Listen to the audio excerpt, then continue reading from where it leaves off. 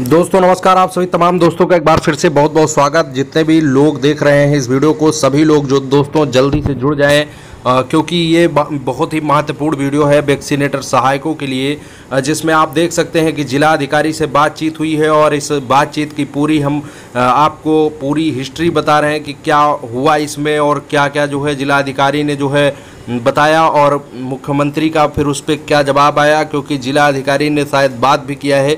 वो सब हम पूरा वीडियो आपको दिखा रहे हैं इस वीडियो में तो चलिए दोस्तों शुरू करते हैं और आपको बताते हैं पूरी जानकारी।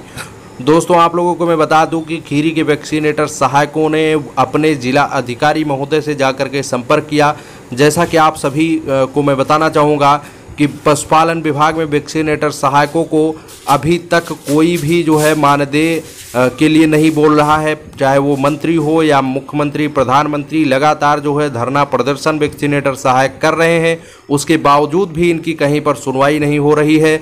महँगाई को देखते हुए वैक्सीनेटर सहायकों ने एकजुट होकर आवाज़ लगाना शुरू कर दिया है कि वैक्सीनेटर सहायकों की जो सैलरी है वो अट्ठारह हज़ार रुपये होना चाहिए और बहुत सारी दिक्कतों का सामना भी वैक्सीनेटर सहायकों को करना पड़ता है।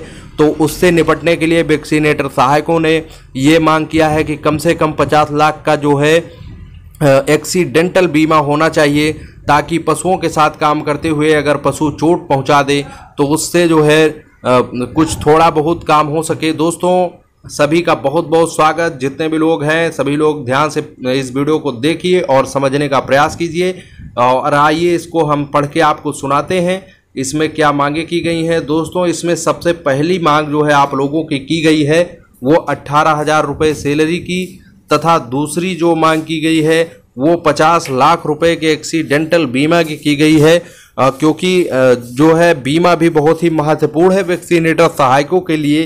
तो दोस्तों आप लोग पहले ये कमेंट बॉक्स में बताइए कि क्या आप खीरी के वैक्सीनेटर सहायकों के आप साथ हैं या नहीं हैं?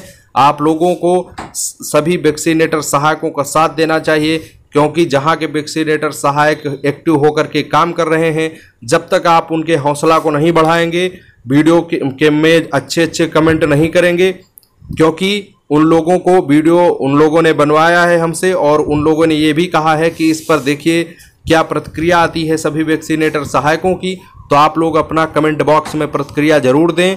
और अब दोस्तों, मैं आप लोगों को बताता हूँ कि चैनल को भी सब्सक्राइब कर लें और वीडियो को लाइक कर लें, क्योंकि तभी आपको सारी जानकारियाँ मिल पाएँगी और ज्ञापन दिया गया है। अब इस ज्ञापन का जो भी जवाब आएगा, मैं अगला वीडियो लेकर के आऊँगा, उसमें आप लोगों को बताऊँगा।